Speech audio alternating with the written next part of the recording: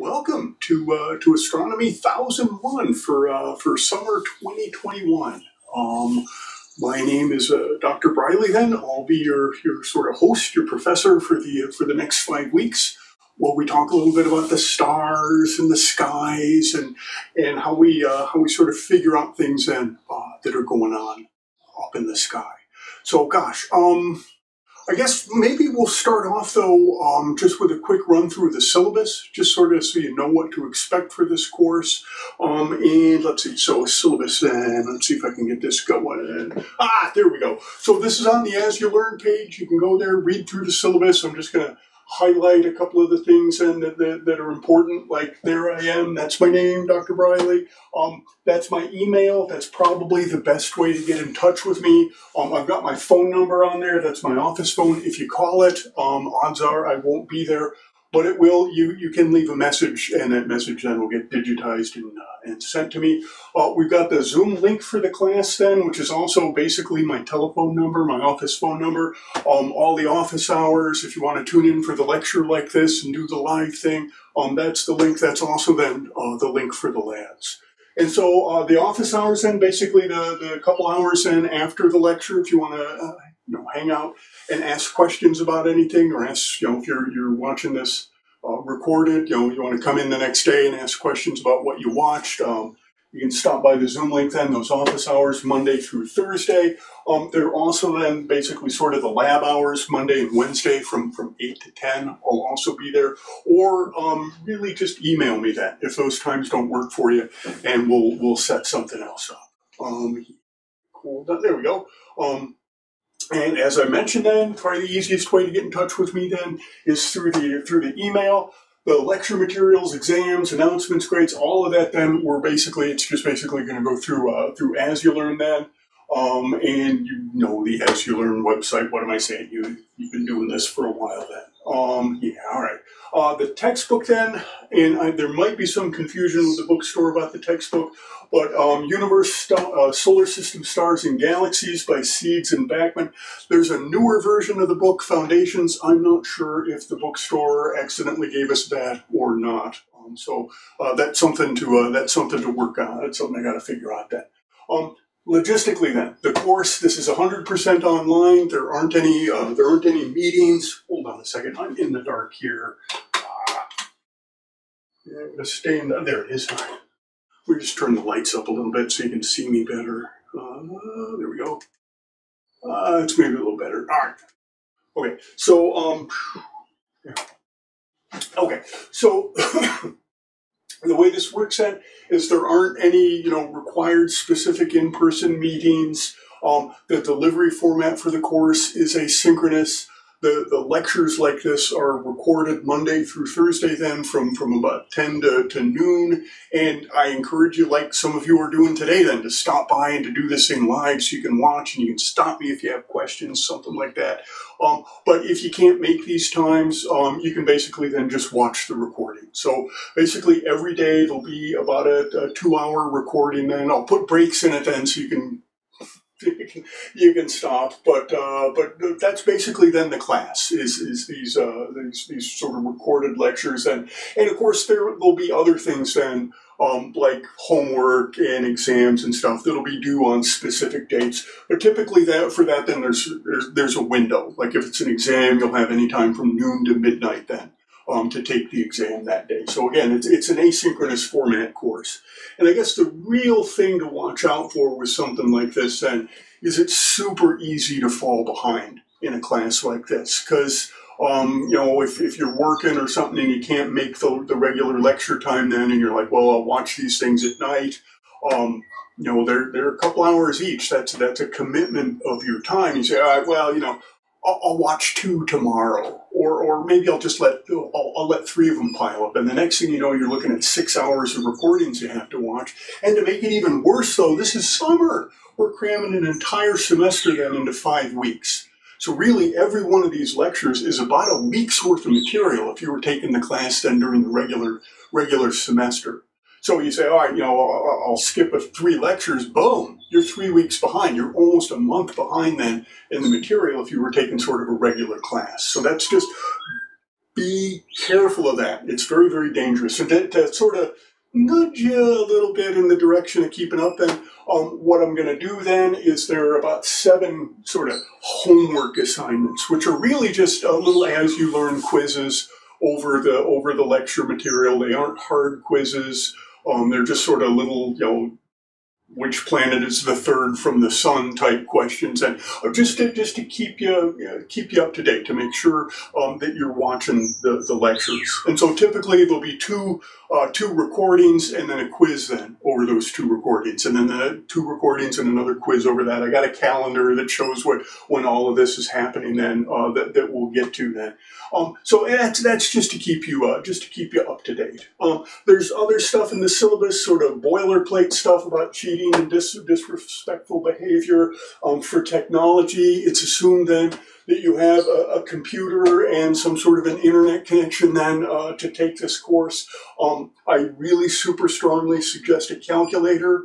Um, well, you're going to need one and, and really a real calculator, not your phone. And I know your phone has a calculator in it. Everybody's phone has a calculator in it. But I, this is just years of experience speaking and including experience with myself when I tend to do math on my calculator, you know, my phone app on my calculator, for some reason, 50 uh, 50 shot whether I've got the right answer. And I've never quite been able to figure out why. I think some of it is, is, you're just pressing buttons on that phone screen and there's no tactile feedback. So maybe you think you pressed a five, but you actually pressed a, I don't know, a four or something like that. Or you, you thought you pressed multiply and you accidentally pressed divide. You don't get any sort of feedback for that. And so at least for me with my phone, it's 50-50 whether or not it's going to spit out the right answer. That and doing other things like scientific notation. It's just weird on the phone. So I think I think you'll find yourself doing better in the class or having maybe less problem problems with doing any math than um, if you have a real calculator. And you don't need a fancy graphing calculator that can do calculus and all of that stuff.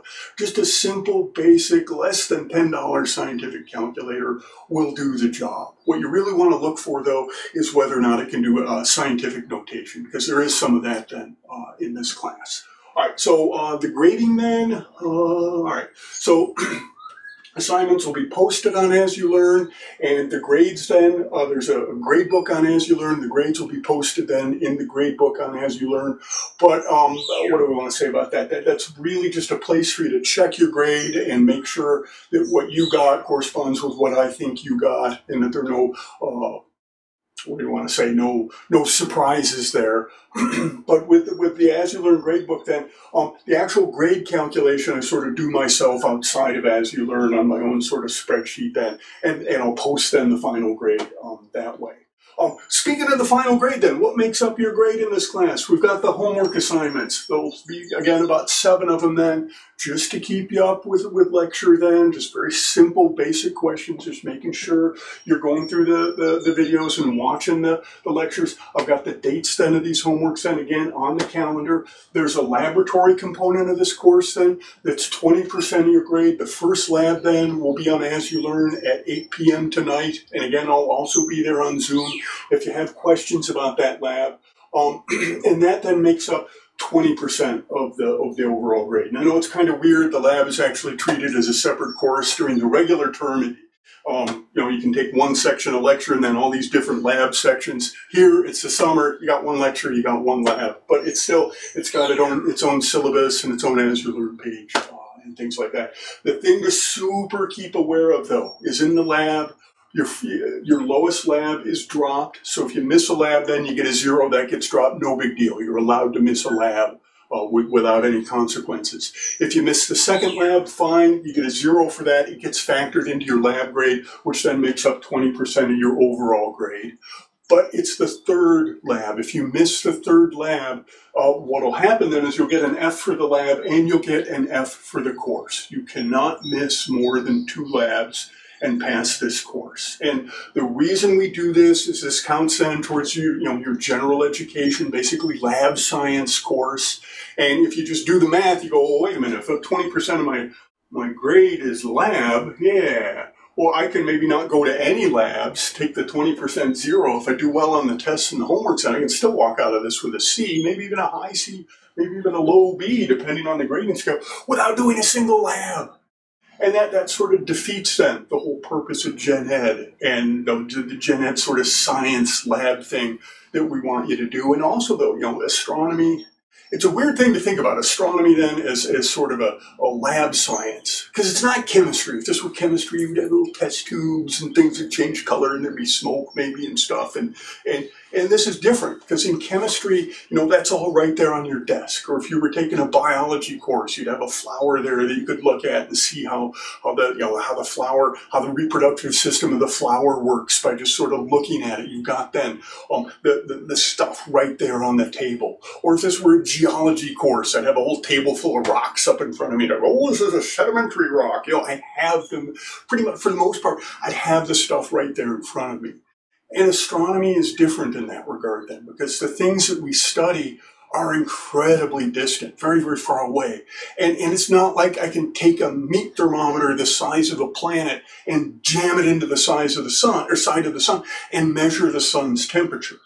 And so in astronomy, it's, it's really very rare that, that we actually have the things that we're looking at, the things that we're investigating on a table in front of us. Maybe the only big exception for that then would be meteorites, and we've got to little bits of comets that we recovered then from, from within the solar system, or maybe moon rocks or something like that. But for the most part, if, you know, if I want to talk about a black hole, I do not want one of those in the lab with me. And so it's very, very different, but it, still is a lab science. And it's important that you see this process of collecting data and making a hypothesis, a theory, and then taking that data, going back and say, well, if this is really what's going on, what else should I see? And can I get other observations to conform or uh, confirm this? And the whole scientific method thing. So, so it's important. And so we want you to do the labs Hence the rule where you can only miss two labs. If you miss the third, you'll get um, an F for the course. All right. Hopefully that makes sense. If you have questions about it, let me know.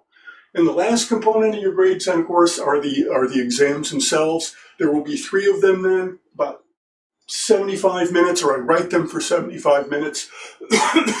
um, given during the, the term then. Um, again, the dates are on the calendar, and again, they're just simple multiple choice, usually about 50 multiple choice uh, questions then. And again, you'll have a window then to take the exam, sort of from, from noon to midnight on exam day. Um, you can go and, uh, and take the exam. And notice though, because you've got, you know, basically a six hour window to take the exam, there aren't any makeups, makeup exams and uh, you have to take the exams um, and unless you have a, an excuse then that's uh, some sort of a university sponsored sports activity, something like that, these are covered then in 6.3.2 of the attendance policy then. Um, but most of well, these absences then you tend to know about them in advance. And if you do know you're going to have an absence um, and miss an exam, um, just talk to me and, and, we can we can work something out. Just just don't come in like a week later and say, yeah, I missed exam too. Um, I'm not going to be right. Making sense? I'm hoping so. All right. Um, the the other thing then is sort of the grading scale, and this is just a standard. You know, you get this percent, you get that grade, you get that percent, you get that grade, and they're just your grades then are just rounded to the nearest uh, whole number for that then. All right, couple other things just really quick to talk about. Um, the course description then, so this is the first course of a two semester uh, sequence then that basically satisfies the gen ed physical science lab requirement then. This section sort of covers a bit of history, um, some of the underlying sort of, of physics then behind astronomy, um, the idea then of light and color and wavelength, things like that, how do telescopes work, things like that. And then finally, then we get into uh, basically the solar system itself. So um, that, that's this course. The second course, the sister course to this, Astronomy 1002, then basically starts off with the sun and then goes out into the into the universe, and it's all about stars and galaxies and and the universe itself. And the expected outcomes of this course then, you can read them yourself, I can read them to you. Students in this course will demonstrate the ability to measure, record, analyze, and classify scientific data. This includes the use of graphs, scientific notation, units, and dimensions, and the application of basic math to real-world problems. And then sort of the second sort of student outcome then, students in this course will develop and apply basic principles of physics to better understand uh, through direct observation and other sources the nature of our solar system and the bodies within it. All right. Okay, if you're in a special accommodation system, then uh, situation, we've got the Office of Disability Resources that you can contact, and we'll work together uh, to sort something out for you. We've got also then a whole bunch of stuff that the university uh, likes us to put in this syllabus, or at least a link to it in the syllabus. And this is all about the uh, attendance policy, student engagement, integrity code, all sorts of stuff. But just follow this link then if you'd like to read then the official uh, attendance policy uh, for the university. All right, finally, the last thing then, this is the schedule of what I think is going to happen every day over the next five weeks in this course. So basically, you know, today then, welcome, we'll talk about the distance scale, uh, constellations, and the magnitude systems. And tomorrow then, the celestial sphere, motion, angular size, and the ecliptic. And then on Wednesday, the first homework assignment is, is going to be due then. And again, it'll just be a a simple AsULearn quiz, just like, uh, I don't know, probably about 15, 20 questions or so, multiple choice. You'll have from noon to midnight to take it. And it's just going to cover stuff that we talked about then on those first two days. And then on, uh, we've got Memorial Day next Monday, but then on, uh, on Tuesday, June 1st then, will be the first exam covering this material and also then that, that uh, sort of first homework uh, basically covering the stuff then from these two lectures. And then there's the next homework here covering the stuff from these two lectures and so on. So uh, hopefully this will make sense. Notice though that, you know, exam one, exam two, and then down here on the on June 24th, then exam three, we're going pretty fast in this class. So uh, seat belts on, tray tables up, and uh, let's get going. Any questions about this? To the people who tuned in, any questions, anything, ask me anything about the syllabus. Oh, I love it when I make perfect sense. Okay, uh, let us get back. Oh, yes, there is a question. Excellent.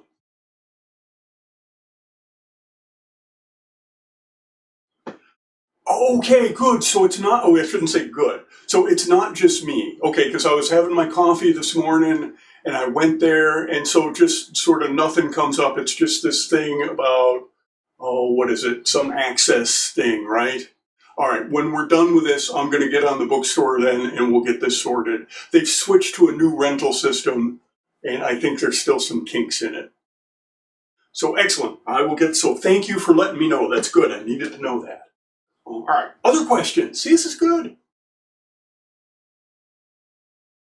So, oh gosh, what to say? I think uh, maybe I almost sort of I like starting out then sort of this this cartoon. I don't know if you can read it or not. Um, turn the lights down a little bit.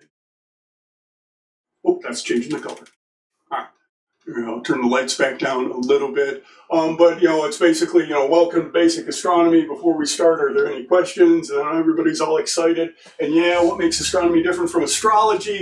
And uh, lots and lots of math. And then he's basically got an empty classroom. And I just want you to know, sort of up front, um, if you notice the department that this course is taught in, it's the Department of Physics and Astronomy. And physics and astronomy sort of go hand in hand. Uh, there are people like me who will argue that astronomy is actually the first physics that people started um, thinking about.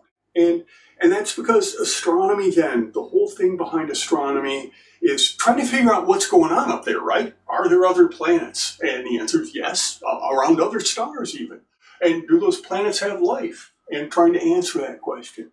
Or how do stars work? How do they, how are they, how are they born? How are they dying? What are, what are they doing there? And the whole Milky Way, this whole galaxy, what is that doing there? Where did it come from? And the universe itself, what, what was the origin of the universe? How did all this stuff come to be?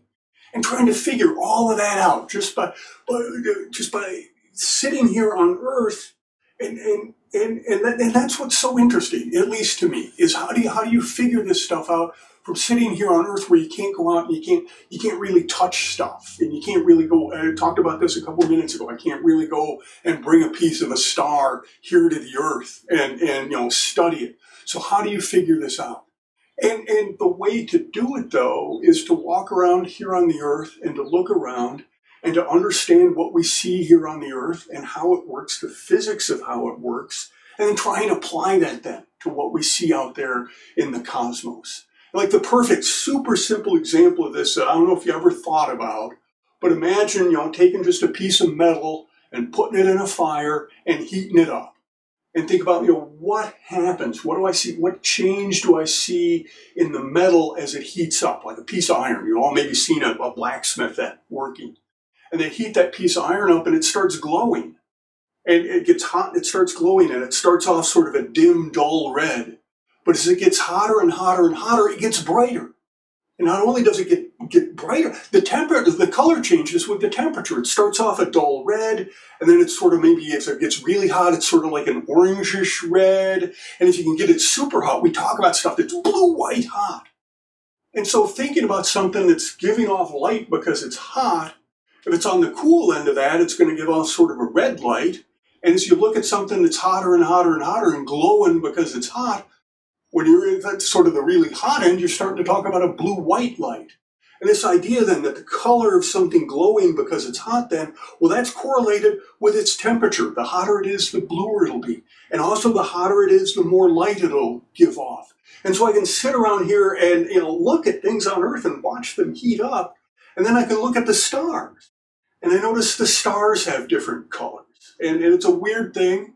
And but if you go out and you really start looking at them carefully, you can look at a star like Antares or Arcturus or something like that, and they're sort of a, like a reddish orange. And then you go look at a star like Sirius or Vega, and they're blue. They're sort of a blue-white color. So what do you think that's telling you? Turns out it's telling you that stars have different temperatures. And the cooler they are, the redder they are, the hotter they are, the more blue-white they are and looking though at the color of the star and starting to talk about that, how hot that star is. And there you go. That's the connection then between what we're seeing here on Earth and trying to figure out stuff in the sky. But I also don't want to be able to do more than just say, oh, it's a bluish star, oh, it's a reddish star. And I want to, be, to, to better connect then those colors to actual temperatures. And what, I'll, what, I'll, what we're going to end up using for that then, of course, is math. And because math then, it's just a, it's just describing relationships between quantities. There's a relationship between temperature and color. And I can express that, that, that relationship then very, very accurately doing math. Or if you talk to physicists then and astronomers then, we talk about you know, the language of nature, the language of our universe, the language of the physical world around us then is math. If I hit a baseball then and I ignore the atmosphere, um, it's going to follow then a parabolic trajectory. It's just going to be described that, you know, so, something to the second power, time to the second power, something like that. And that describes how it's moving. And because there's this relationship then between math and physical quantities and what's going on in the universe, there will be some math in this course. And now that I've scared the heck out of you, um, the math isn't bad. Um, it's basic. It's really just sort of basic al basic high school algebra. There won't even be any quadratic equations or anything like that. There'll be like some ratios and stuff over stuff, maybe a few things like that. The weirdest thing you'll ever see then is that the brightness of an object then depends on its temperature to the fourth power. And that's the weirdest math then that I think we see in this course. But I just, I want to be upfront with you then and just, you know, that there will be, there will be some of that in this course. And hopefully though, everybody is okay with that. And I know some people have sort of a math anxiety and a math phobia, um, because it really was a form of torture in high school. I remember not liking my high school math very much. Um, and going, oh, whatever will I use this for? This is stupid. Well, a little bit I know I'd be doing this. Um, but but if you want to talk about math and you have problems with it or just don't like it, you know, come see me. Come talk to me about that. We can we can we can worry about that. All right.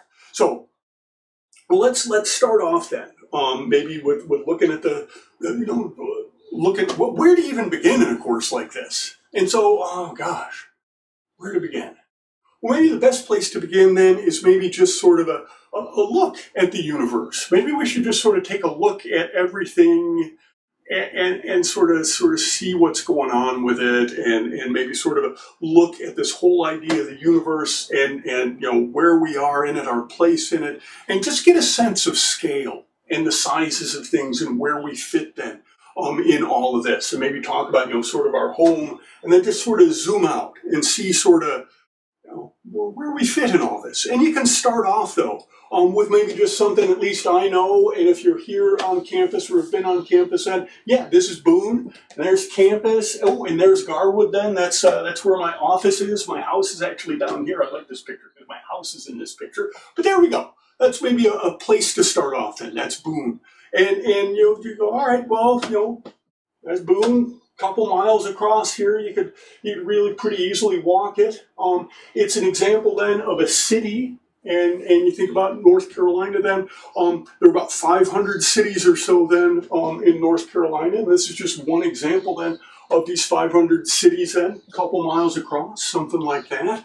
Um, well, okay, well, we can zoom out from this then. And instead of just talking about our, our location then here in Boone, maybe think about our location in North Carolina. So we're just zooming out then. Here's the, the state of North Carolina. If you look at the size now, you know, instead of just a few miles across like the previous picture, now we're talking about 500 miles across. Here's Boone. And, and you have a feel for that sort of a size though. And, and you, you know, have you ever driven like from Boone to the beach or from the, the beach to the mountains? I'm, I'm sure some of you have. And so, you know, how long does that drive take? And, and sometimes it's interesting to express distances in terms of drive time. But if, if you think about it, what, it's like a six, seven, eight hour drive uh, to get to the beach here from Boone. why is it six, seven, or eight hours though? Why isn't it just, you know, 7.2 hours, something like that?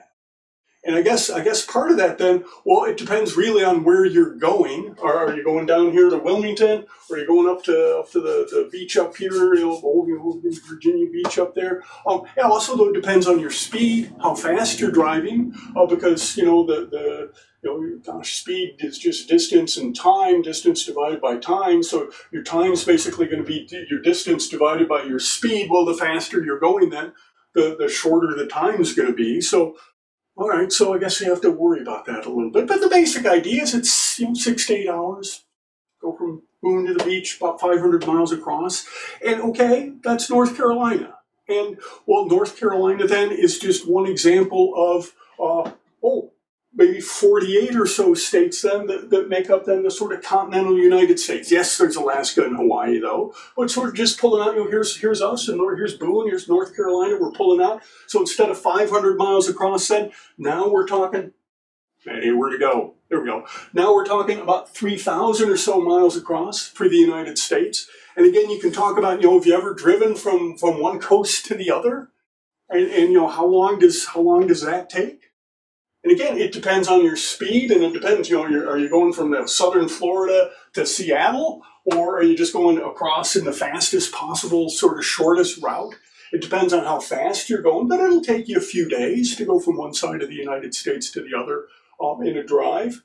Um, well, actually, though, the record is, is 27 hours to go from one coast to the other. It was a relatively recent cannonball run. And if you do the math on that, though, if you get bored, you can actually do this math. Basically, 3,000 miles in 27 hours. So if you wanted to figure out how long that took, you got 3,000 miles and you divide it by the time. Distance divided by time is speed, like miles per hour. So 3,000 uh, miles divided by 27 hours, that's an average of about 110 miles per hour then uh, during that trip, which um, uh, yeah, it's very illegal. Don't do that. Um, anyway, so uh, but, uh, thinking about this, we started off though with just a little city, and we zoomed out and we talked about you know one of 500 cities in our state. We looked at our state then. That's one of 50 or sorry 48 states in, in the con- continental United States, and we could we could zoom out a little further and talk about you know how many countries there are on the, the continent then or we can talk about the oceans and you know how many oceans there are. But let's just pull out and have a look then at the whole darn thing. And so here we are. This is Earth. This is where you keep all your stuff. Um, and here is the United States, and there's sort of North Carolina, and there's Boone. Um, but you know, all of 500 500 cities then in the 48 states in the con or in the in the country then that's on the continent that's part of the part of the earth then. Um to get just sort of zooming out though and looking then at these, these sort of bigger and bigger structures structures. And now we're talking about something that's about 25,000 miles in circumference And so if you were to get in your car and try and drive all the way around the earth, which I know is challenging because of the oceans, you actually really can't do it. But you can imagine maybe something was starting in southern, uh, southern uh, uh, South America and driving up through uh, Chile and then going through uh, the Panama then and Mexico, driving through the United States, on up into Canada, and then up into way into the northern territories. Yeah, you get pretty close to the circumference of the earth. But if you think how long that would take, if you just if you didn't make you drive 60 miles an hour then, and you don't stop to go completely around the earth, then it would take you about 17 days of continuous driving.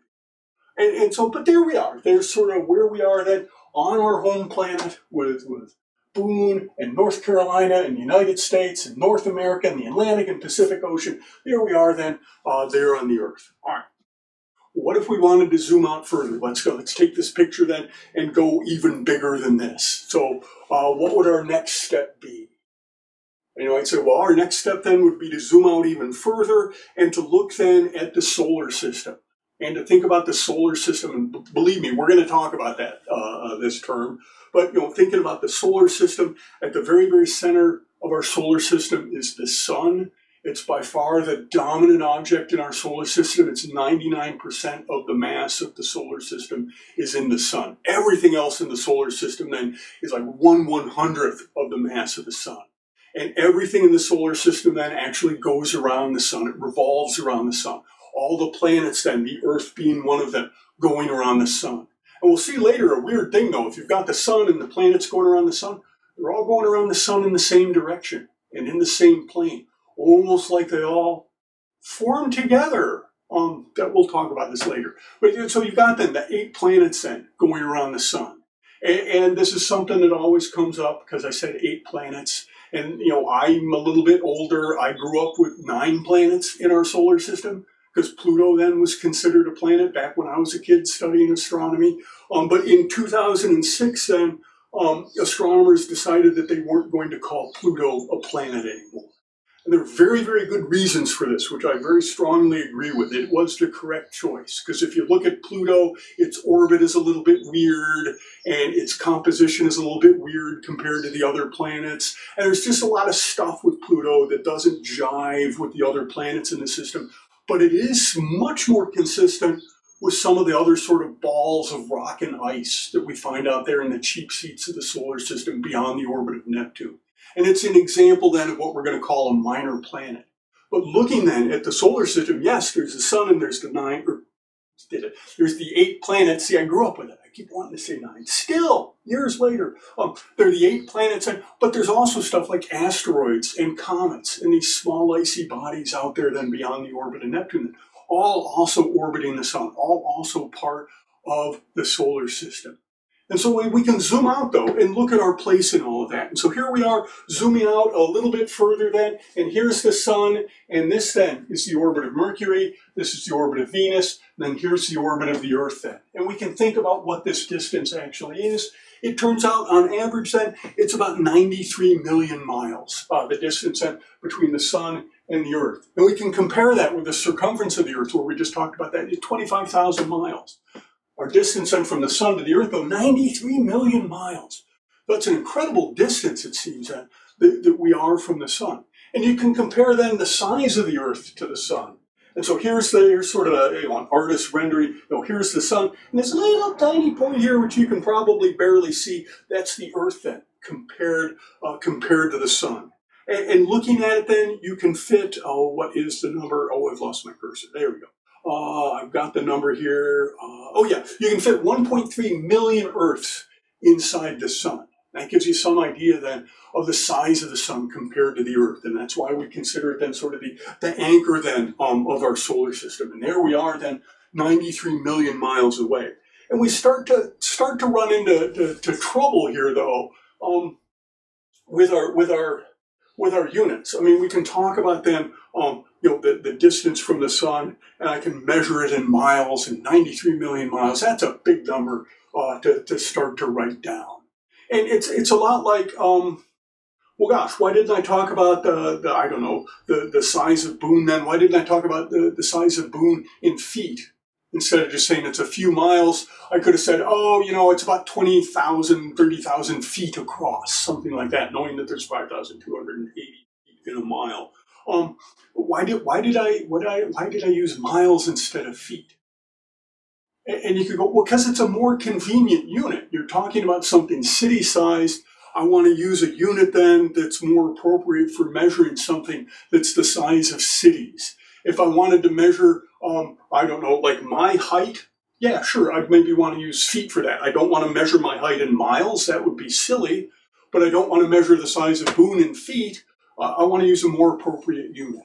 And, and we start to run into this then in astronomy too, where all of a sudden then our, our distances, our sizes become so big that we're going to want to stop using miles. Although technically we're going to use kilometers because we use the metric system just like almost the entire planet, with the exception of the United States, and I think I think Libya and maybe one other country that um, don't use the metric system. So, uh, anyways, what we'll start to do though is take some of these larger units then and basically just um, their larger distances and come up with units then that are maybe more appropriate. And, and just I just mention it because you're actually seeing it here then on this slide, we start talking about, you know, the measuring, measuring the, the distances of planets from the sun, not in terms of miles anymore, but we have a new unit that we're going to end up using then called an astronomical unit, where an astronomical unit then is one average Earth-Sun distance. And that's really handy then for talking about the distances of planets from the sun, one astronomical unit. Uh, fine, that's one Earth-Sun distance. I can talk about Venus then, that orbits the sun at a distance of about 0.7 astronomical units. And that tells me then Venus then, well, if one astronomical unit is one Earth-Sun distance and Venus is at 0.7 Earth-Sun Earth astronomical units or 0.7 Earth-Sun distances, that's just telling me Venus orbits the sun at about 70% the distance that the Earth does. Or I could go, oh, look, it's Jupiter. It's 5.2 astronomical units from the sun. That's telling you, well, Jupiter orbits at about 5.2 times further from the sun than the Earth does. Or Neptune then out at 30 astronomical units. So it's just a, a more convenient unit then for measuring uh, these sorts of distances. And as they come up then, uh, I'll, I'll, continue to uh, measure or uh, mention them. So, but this gives you some sense maybe of the scale of at least the inner part of the solar system where we are with Venus and Mercury and also Mars is a little bit further out then too. We can continue though, uh, moving, oh yeah, uh, sorry, I keep forgetting I have slides. So yes, one astronomical unit then, that's the average Earth-Sun distance.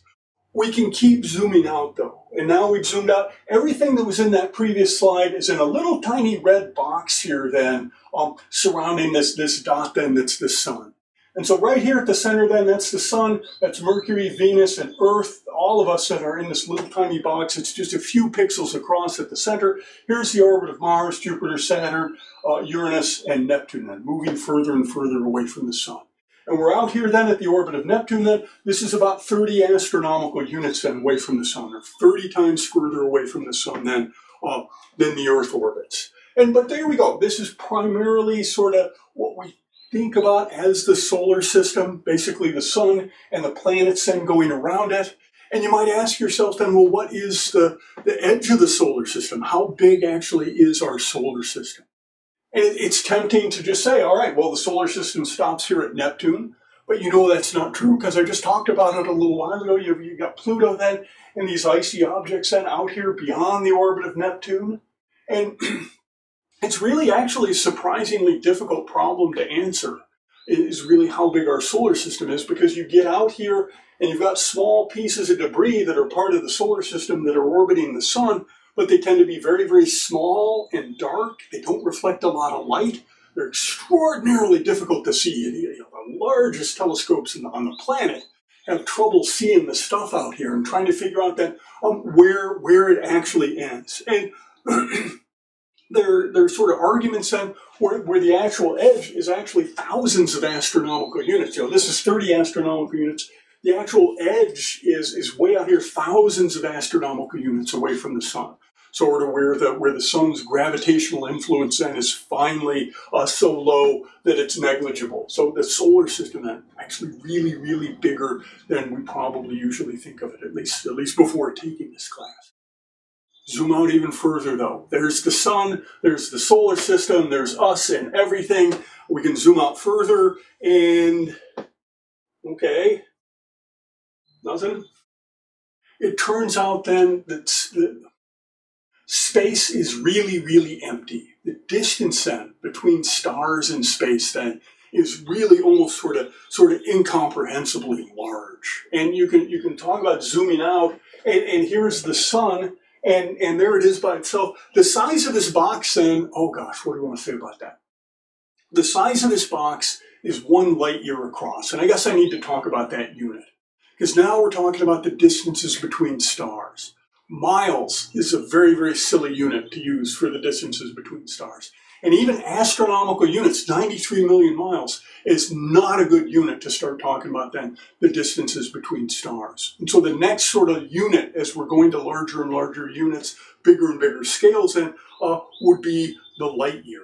And so thinking about then this idea of the light year, um, uh, maybe I'm sure, I'm sure many of you have already seen this then, this idea of the light year. It's a unit of distance, and it's really a measure then of how far light travels in one year. And you think about, oh gosh, I mean, I don't, I usually don't think about um, in, in my day-to-day life this idea that light has a has a finite speed to it. I throw that light switch, boom, that light's on. That light is striking my eyes effectively instantaneously. And, and the reason for that is that light travels really, really, really, really fast you know, you can talk about its speed then, 300,000 kilometers per second, or about 183,000 miles per second then. This, sorry, 186,000 miles per second then. The speed of light. It's moving 186,000 miles uh, per second. And so, yeah, the distance between that light and my eye when I throw the light switch, yeah, it doesn't take the, lot, the light going 186,000 miles per second. Doesn't take it a long time to reach my eye. But on these larger scales, it does start to it does start to take some time. Um, a good example of this that you really don't think of is if you go back and watch the Apollo footage and you listen to the communications between the astronauts on the moon and Houston, there's always a, delay of a couple of seconds. And that's because the moon is actually, you know, a couple of, uh, uh, what is it, about three quarters of a light second away or about a light second away. And, and so there's a, a, delay then for the radio waves to get from the Earth to the moon, the astronauts to respond, and then for that light, that, that those radio waves moving at the speed of light to get back to the Earth.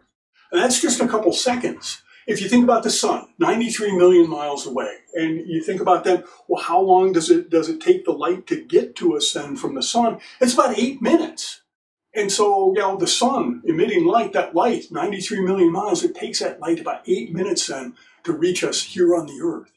And, and you go even further than that, though, and you start talking about these distances then um, between stars and measuring then these distances then in terms of how the light year then, the distance then that light travels uh, basically in one year. And so looking at it then, one light year, I know this is on the bottom, I don't know if you can see it or not then, um, it's about 9.5 times 10 to the 12th, or gosh, what is that, 9 what about 9,500 trillion kilometers then, or about 6 trillion miles, or about 63,000 astronomical units then, is basically a light year. And but when you're talking about then the distances between stars, even one light year then, you're talking about, you know, this this box then being six trillion miles across, there's still, if the sun's at the center, there's still not another star in this box. The distances then between the two stars are just basically extraordinary. And we can pull out a little bit further though, and, and, you know, finally, if you start to talk about a box then that's maybe, oh, I don't know, about 20 light years across, so uh, you finally, you know, get a, a few a few stars um, in that box. Maybe maybe we should talk about that, the closest star to the Earth then, and it's Proxima Centauri and it's about 4.2 um, light years away from us then. So 4.2 light years, 265,000 astronomical units. And really, which is easier to remember, 4.2 light years or 26,000, 265, uh, 265,000 astronomical units, or gosh, 2,500,000 trillion miles? Ah, 4.2 light years then. Um, and so there we go. The distance then, 4.2 light years, 256,000 astronomical units, or 2.5 times 10 to the 13th um, miles then. And that's the nearest star to us. It's actually part of a triple system then, uh, Alpha Centauri and what is it? Alpha Centauri, uh, A and B then, and Proxima Centauri. So Al- Alpha Centauri then is actually two stars, A and B going around each other, and Proxima Centauri is a third star that's gravitationally bound then to those two stars. You'll learn more about that uh, uh, next semester. I just want to take, take a second then and actually show you um, on the night sky uh, where this is. And so this is the constellation then Centaurus, the Centaur. Here is Alpha Centauri, which is actually two stars. And in this little sort of um, uh, um, box here, then um, that's Al- that's uh, Proxima Centauri, the nearest star to us. And I, I, I don't know if it will matter or not. It's probably not going to matter. I can try and turn down the lights even further. And um, well, I can just jump to the chase here. If you look, there's actually no star in this box. Ah! And that's not me trying to trick you.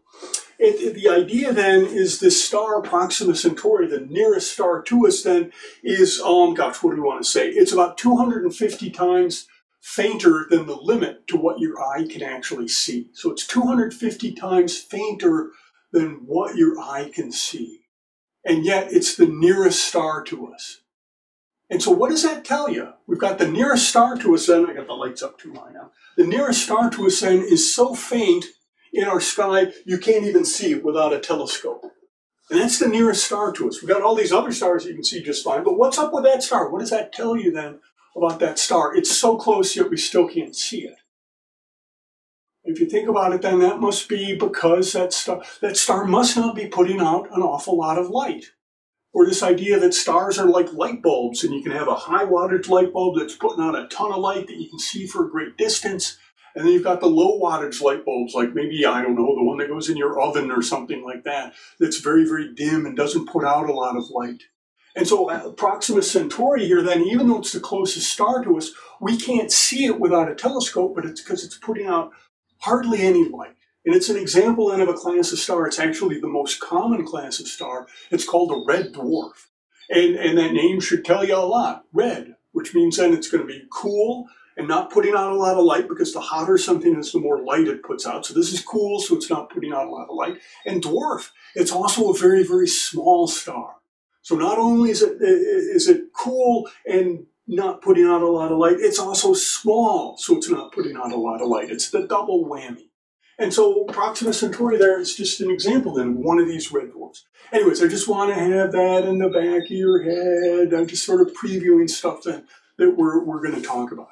But we can pull out even further then. We can talk about the solar neighborhood then, the, the stars then that are within a few thousand light years of, uh, of us then our solar neighborhood. Pulling out even further though, we see the sun as part of a much, much, much, much larger structure of stars that we, we basically sort of call a galaxy. And our galaxy then is referred to as the Milky Way galaxy.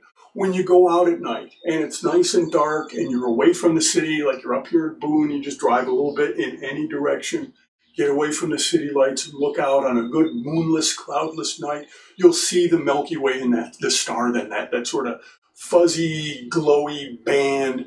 And, and what you're seeing though are are just thousands and thousands and thousands of very distant, unresolved stars that all sort of, the light all sort of mixes together and it just looks sort of like this glowing band in the sky, almost like somebody spilled milk across the sky, hence the name the Milky Way galaxy. And this is the view from above. And again, this is more stuff for sort of astronomy too. But there we are. Here's the center of the galaxy. Here we are, um, sort of out here in the outer reaches of the galaxy. Um, and, and, but there we are. We're just one star looking at this then. Um, you're starting to talk about maybe a few hundred billion stars in the Milky Way, maybe about 300 billion stars or so and we start to look at the size of the Milky Way then, and we start to measure its distance or its size here. These are, you know, 45,000, 60,000 light years, 70,000 light years. It's about, um, from the center out then, it's about 100,000, uh, almost 100,000 light years. Um, uh, what do I say? No, it's about 100,000 light years then, um, in diameter. Absolutely huge. And we're just part of this large structure then. It's this, it's this galaxy with, with billions and billions in, um, of other stars. Oh, uh oh. That's not good. hold on. Come on. There we go. Um, so that then uh, is yes, yes. Oh yeah, no, no. So, oh, so the and for those of you who are watching the recording, somebody asked me if this was this actually is recording. It's a it's it's a it's a weird system then where the recording then is happening then on a on a different computer.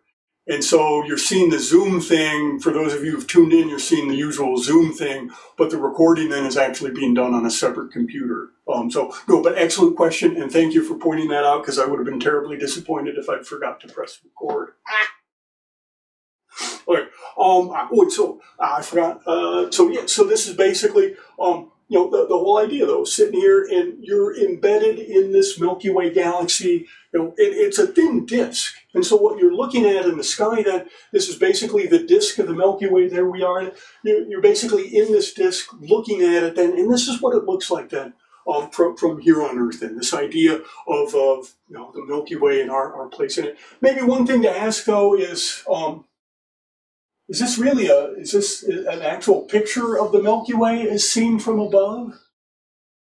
And it, it's sort of something you have to start being aware of or asking yourself in astronomy when you start seeing images, especially these days, is, you know, you almost have to read the captions and look at them and think about them a little bit. Are you seeing something then that's an artist's rendering or a computer generated image, or are you seeing then an actual photograph of the object? And it can get tricky.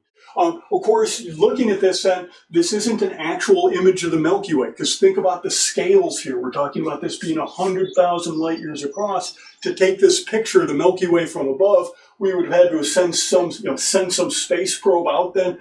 A few, oh, at least at least 10,000 light years, something like that, in order to take this picture. And there's no way we could have gotten anything out that far away from the Milky Way then uh, to take a picture like this. The furthest, uh, the furthest human-made objects then um, from the sun right now are of course the Voyager probes, and they're just leaving uh, they're just leaving the actual sort of boundary then of the Earth's sorry, the sun's magnetic field as we speak. I mean, they're really just leaving the edge of the solar system right now, even though they were launched way back in the 70s. And so, yeah, no, this is an artist rendering then of what we think the Milky Way galaxy would look like from above based on all the data uh, we have to date then. And so, yes, this is an artist's impression uh, uh, sort of right here.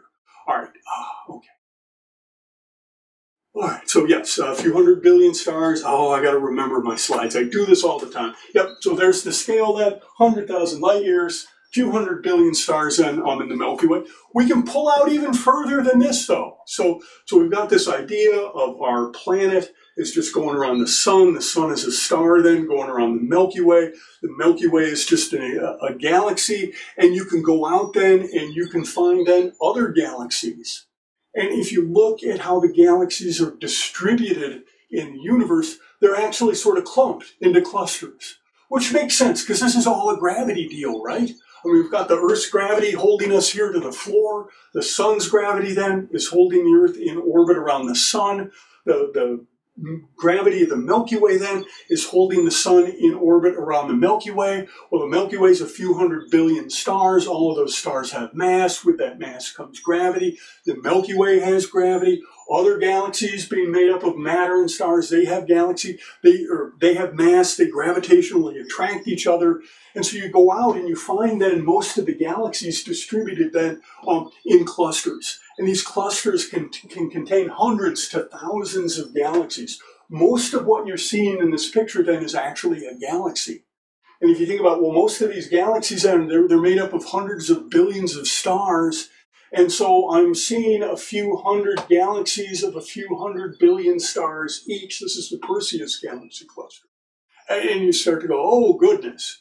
And you can even look then at the clusters of galaxies, which are also clustered. So you've got clusters of clusters of galaxies. These are referred to then as superclusters. So this idea of galaxy uh, superclusters, and this is our local supercluster then. It's about 160 oh gosh, this is another unit that we'll get into in astronomy too, uh, megaparsecs, which is about 3.26 light years. And so this is about 400 million light years across then our sort of local galaxy supercluster.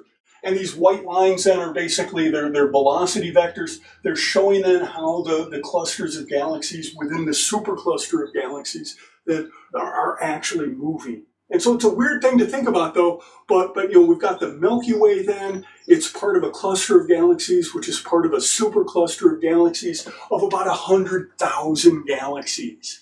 And you start going, oh my goodness, 100,000 galaxies, each with a few hundred billion stars in it. Um, it just starts to get crazy, you know, and just thinking about the sizes of these things.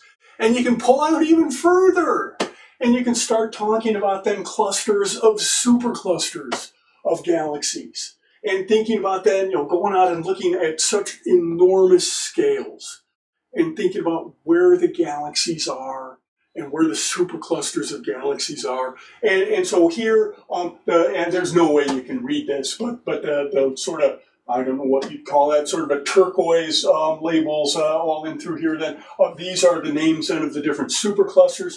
But if you look, you know, there are places where there's superclusters clumped up, and then there are also voids where, you're, where, where there aren't any uh, galaxies in.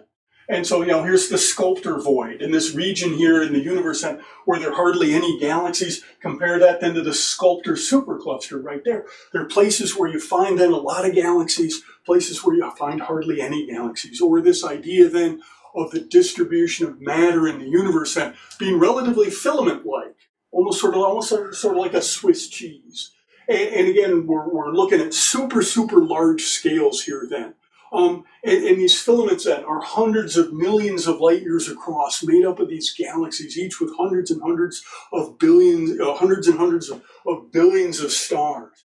And you start to think about, gosh, um, what's going on here then? Why does the universe have this sort of filament spider web, wispy Swiss cheese structure to it? What's up with this sort of structure. And this, this is actually, um, I should come out and say then, this is a computer model of what we think it should look like then on these sorts of scales based on data, based on you know the, the best data um, to date.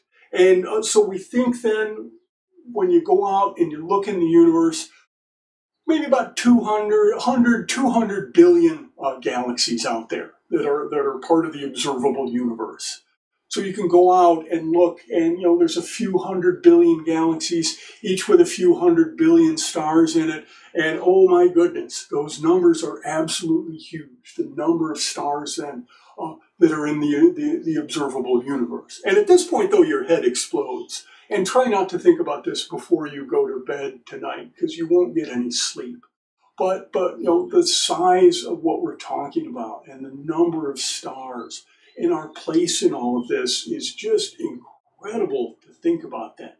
Uh, what's going on with, with all of this. And, and, at this point, then, I mean, the numbers actually sort of, I hate to say it, I mean, they, they actually sort of get silly when you're talking about hundreds of billions of galaxies with hundreds of billions of stars in them. Your, your brain really starts to have trouble. But I should mention one other thing, though. I talked about the idea of this is, you know, a few hundred billion galaxies in the observable universe. And that's a weird thing. And we got to back up a little bit, though, before we can talk about uh, the, the, observable universe and, and this idea of uh, thinking about then the light travel time. And this is a strange thing to think about, but, but okay, the sun, 93 million miles away, eight light minutes away. And so light from the sun takes eight minutes to reach us. If you stop and think about it, though, that's kind of weird. That means you're seeing the sun eight minutes ago when you actually look up and see it in the sky, you're seeing what the sun looked like eight minutes ago because that's how long it took the light to reach you.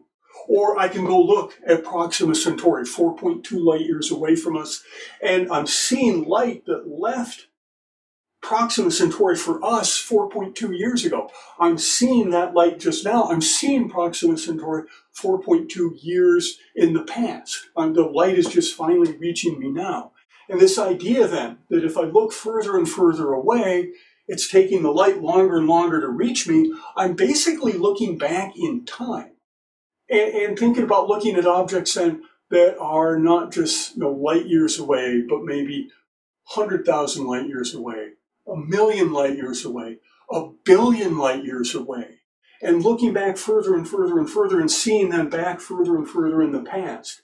And just as an aside, if you want to start thinking about how galaxies got together, at the beginning of the, of the universe and how they've evolved over time, one way to do it is to grab your telescope and look at more and more distant galaxies. You're seeing these galaxies further and further back in the past. And what you find then is the galaxies that are very, very far away from us then, maybe, oh, 12 billion light years away, 11 billion light years away, look very, very different from the galaxies that we see around us today, which is telling you a little bit then about how they started out. And, and, and you can use that then to sort of reconstruct then how they've evolved over time. It's, it's really weird stuff. But also thinking about then, I'm, I'm looking further and further away. I'm looking for, for, farther and farther back in time in astronomy too, I know a lot of this is astronomy two stuff we're starting off with, but in astronomy two, you'll talk about how the universe, and it actually does have a finite age. About 13 billion years ago, then, there was the Big Bang. There is a stunning amount of evidence for this that we'll get into in astronomy two. But, but you know, the, the, the universe then has a start date. And, and you know, looking back in time, well, there's a limit to how far back I can look because the universe doesn't. If I wanted to see something 15 billion, you know, light years or 15 billion years in the past, well, I can't. It did. Nothing existed 15 billion years ago. So this idea then that there's an actual edge to what we can see in in in our universe, just because there hasn't been enough time for the light to get to us, you know, from from anything further away. This is all getting very very weird. But the other thing we'll talk about in astronomy too is this idea of the universe actually expanding. And so if I look at something that's 13 billion light years away, it actually left on its way to Earth when the universe was also a lot smaller, and the universe then has actually expanded during that time. And though all of the weirdness combines to this idea that the observable universe then that we can see from here on Earth it's basically a, almost about 100 billion light years across, about 93 billion light years across. And you can do that, though, with a universe that's only 13 billion years old because of this expansion thing. But that's the basic idea then. You know, the, the light then, it takes time to travel to distant places. And yeah, again, I always forget about my slides. It takes eight minutes to get to us from the sun. Um, and so you're seeing them basically, uh, basically into the past. You're seeing eight minutes into the past with the sun. Um, and yeah, 4.2 light years for the closest star. There we go. And so this idea then, the Big Bang, about 13 billion years ago, um, the light, the, it's from the Big Bang, it's been traveling towards us all of this time. But in that time, um, the, the, the universe itself then has expanded. But there's an edge. The whole idea behind this, though, is that there's an edge to the visible universe then. Because the light then that was just emitted during the creation of the universe, it's been traveling towards us for 13.8 billion years, but we can't see anything sort of beyond that. Oh, this is all such weird stuff. Um, but that doesn't mean that there's an edge to the universe. It's not like there's a wall here where the universe ends. All this means is anything beyond this is too far away for the light to have gotten to us yet. If you come back tomorrow, you'll see a little bit further. If you come back a little, a little couple days later, you'll see even further. And basically, as time goes on, the light from further and further out in the galaxy then uh, you get more and more time for that light to get to us. But today, looking around today, then you can only see about 93 billion uh, light years of the universe. That doesn't mean though that the universe has an edge. It doesn't, just like it doesn't have a center. And, and again, this is stuff I, I, I worry about talking about them because you're just going to be like, oh, but but how can something without a center have an edge and all sorts of weird stuff about how the universe, how can the universe you know, if the universe is expanding, what's it expanding into? And you can't ask that though, because this is actual three dimensional space that's expanding. It's space itself that's getting bigger. It's not expanding into anything. All right. Don't want to don't want to get digressed on this. If you'd like to talk about this though, I've got office hours. We can have all sorts of discussions about this stuff until the point where you just can't sleep anymore. Um, real quick then, uh, the units of distance then that we've been talking about, we've got the astronomical unit then, which is one Earth-Sun distance, nine or 150 million kilometers, 93 million miles then. Neptune then 30 astronomical units from the sun. We also then ended up talking about the light year, which is the distance then traveled by light in one year, about 6 trillion miles or so. Uh, I did mention then also the idea of the parsec, 3.26 light years. That's something we'll talk about more um, maybe a little bit in this class, but it's more something also than um, for uh, for uh, astronomy too. All right, and I got just a couple more slides, and then we will take a break. Yeah, it is totally time for a break. Okay. Um, the other thing to think about, though, come on, there we go. Um, you know, that was sort of the the where are we bit of the lecture. We can also think about when we are.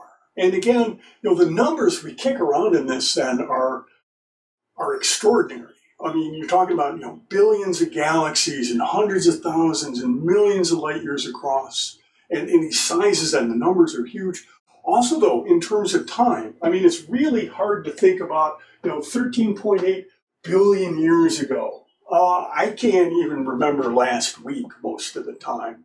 And the whole idea of trying to put 13 billion eight or 13.8 billion years in my head, well, I don't know how well that's going to work.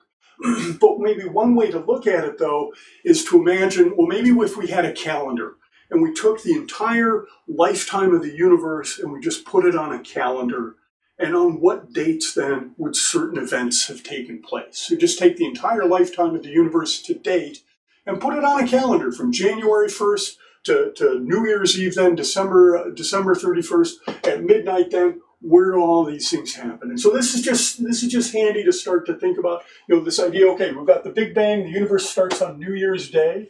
By about mid March, uh, the our Milky Way forms.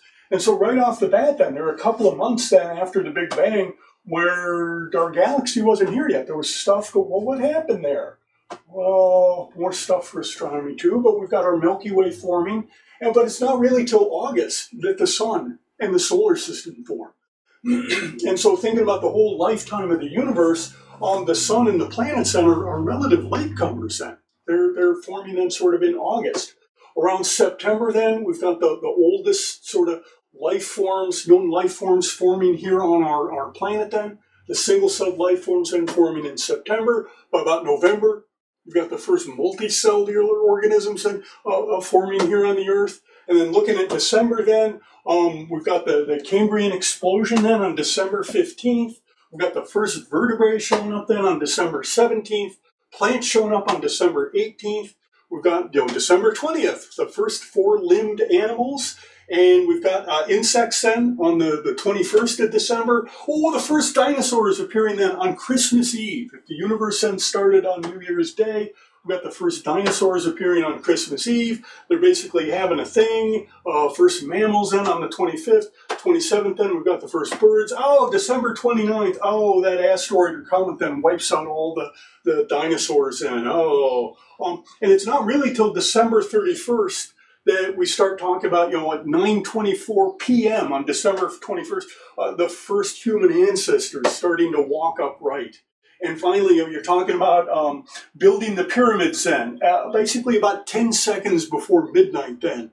Um, we're building our periods before midnight then on December 31st. One second before uh, December 31st and New Year's then, one second uh, we've got then um, basically the, the Europeans discovering um, North and South America, one second before midnight.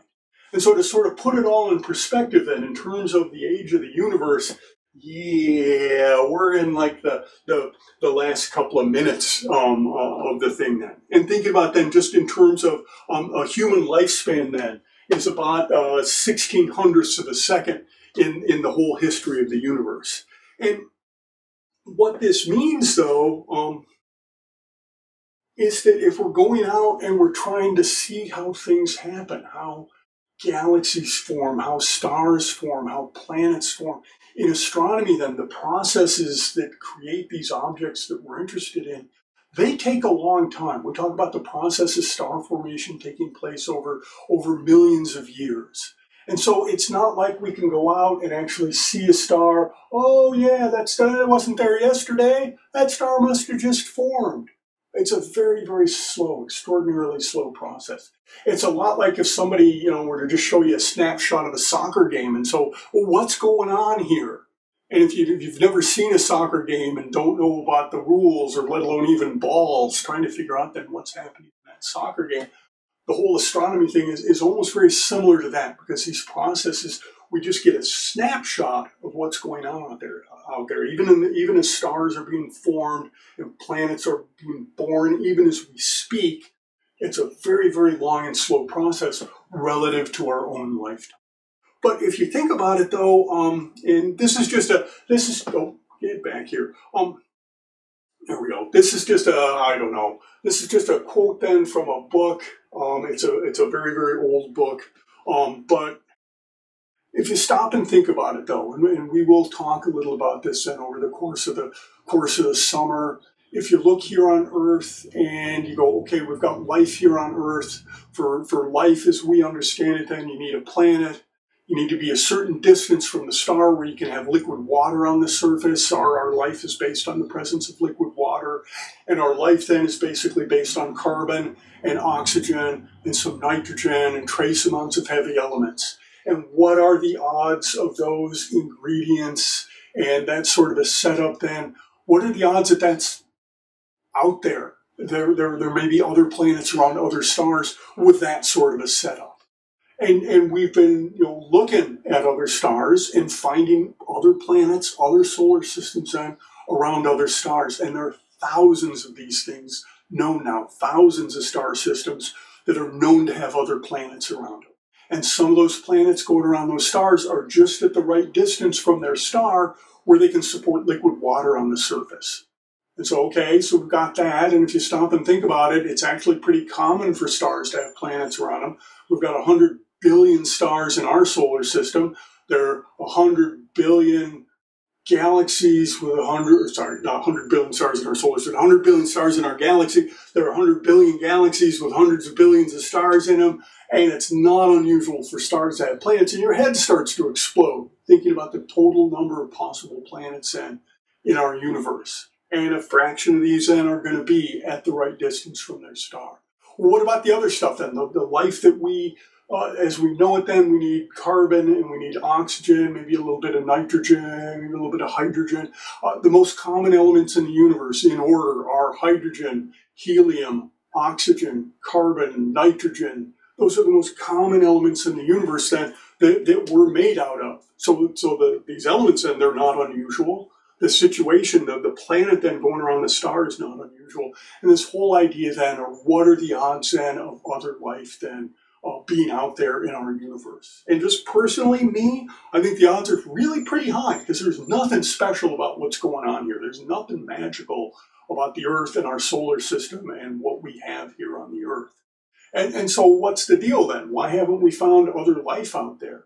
Um, and the, I think the problem lies, I shouldn't say problem, that's pejorative, but, but the, the, the, the situation then that arises, at, um, yeah, and this is like eight planets instead of nine. It's an old book. Um, what happens here, let me just jump right to the end here. Oh, I've lost my cursor. Dang nabbit. There we go. There we go. What's going on here, though, is if you stop and think about how are we going to detect other life on other planets? Well, one of the ways to do it is as they develop technology, they'll start using radio waves, something like that. And you go, oh, wait a minute. Well, how about the Earth then? Well, we started broadcasting radio waves. We started broadcasting then signals that would leave the Earth's atmosphere in 1906. And so if you think about it then, what, what have we got? Like 115 years of radio signals. And so you can imagine then 150, so those radio signals that left here in 1906 then are about 115 light years then from our planet and from our solar system and go back and when we talked about the sizes of things and the size of the, the Milky Way and the distances between stars, 115 light years in is really nothing. That's like the, there are a handful of stars then that are just starting to, to receive our radio signals. And sort of, you know, here's the Milky Way galaxy, and there's a little blow up then, and here's the Earth right here. And this little blue dot, maybe about, you know, a couple hundred uh, light years in, in diameter then, that's the size of our radio sphere and and thinking about then, well, you know, if there's life here, here, here, here, here, here, here, we're all so far apart from each other that that they're they're you know if they'd started at the same time we did, then there's no way their signals could have reached us by now. The the issue then is just with the tremendous distances then uh, between stars. And it gets even worse though, because if you, I don't use, I don't use words like worse, but it gets even trickier though, because if you stop and think as we move over uh, to, you know, we've got a lot of our communications now is cable based, fiber optics, things like that. Well, most of our traffic now is going over the internet. And, and actually, we're getting more and more radio quiet as time goes on. And so our radio signature signature as the technology is developing, we're actually getting fainter and fainter in the radio. And this idea that a truly advanced society uh, may not even, or civilization may not even use radio at all. They may be advanced and beyond radio. How do we find them? All right, so more stuff to think about though. Um, you know, if there is life out there, how do you find it? So anyways, all right. I think it's time for a break. I'm going to have myself a couple of sips of coffee. Uh, you at home, if you need to go um, take care of something, um, I'm just going to sort of hang out for about five minutes and we'll start up then um, with chapter two. So I will see you in five minutes. All right, so yeah, that looks like about five minutes. Uh, we'll pick this up again and uh, sort of start on the next topic or sort of the, the next chapter then, really about the night sky. And so we're, you know, we're just returning back to Earth and maybe we'll talk about something a little easier to wrap our heads around, like the night sky. And maybe the first thing to think about then is um, how can we talk about where something is in the night sky? How can, how can I tell you where a certain star is uh, in all this? And, and you can say, oh, that's the bright thing, you know, kind of up and to the right of them other two stars. And that's not really the best system. Uh, for talking about where things are, and maybe maybe we should even back up even further though, and, and think about something very very similar and a similar problem. How do we talk about where things are here on the Earth? And, and so, you know, how can I tell you where something is um, here on the earth? And, and there are different ways then of doing this, of, of uh, really sort of two ways of talking about then where something is on the earth and specifying that um, its location. And one way is to actually use um, basically an address or to set up a system then with boundaries and a system of addresses like we can say, oh, um, I want to send that then to my office, 525 River Street, Boone, North Carolina, 28608. And you go, oh, Boone, North Carolina then, uh, in the USA. And so that's almost sort of the reverse of what we were just doing with, with zooming away from Boone. This is sort of zooming in, where we say, okay, we've got the United States. So the location we're interested in is in the United States. Oh, the location we're interested in is in the state of North Carolina within the United States. Oh, the address we're interested then is in one of the 500 cities. It's in Boone then, uh, in the state of North Carolina in the United States. And oh, it's on River Street in Boone, 525 uh, River Street in Boone.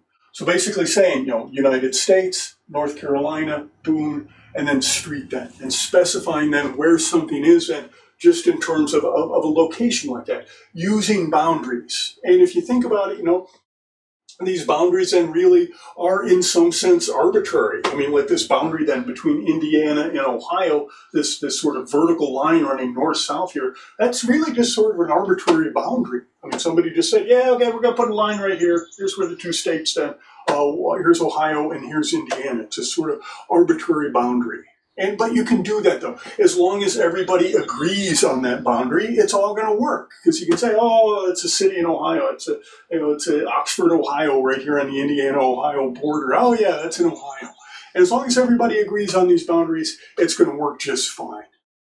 Another way to do it, though, is instead of instead of using boundaries and, and, names and sort of you know countries and states and cities like that, another way to do it then is to just use coordinates. And so that's another way to talk about where something is then um, here on the surface of the Earth. And this is what your GPS uses. Then it uses coordinates. It uses then um, latitude and longitude. And if you remember, hopefully way back um, in, in other classes in, in school then, way back then, the, the idea then of latitude and longitude. And so the idea behind latitude then is if you watch the Earth sit there and spin, oh, it's got the two poles, the North and South Pole. Halfway in between the poles and is the equator. Oh, well, that's a natural place to measure things from. And so we can talk about North Carolina, or we can talk about Chile then, in terms of how far north or south they are then, um, above or below the equator.